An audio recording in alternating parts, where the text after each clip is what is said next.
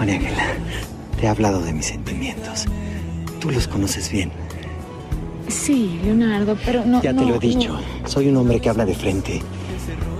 Sé bien que apenas acabamos de conocernos, pero para mí ha sido un tiempo más que suficiente para quererte, para respetarte.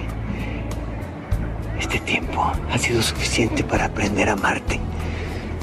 Leonardo, no.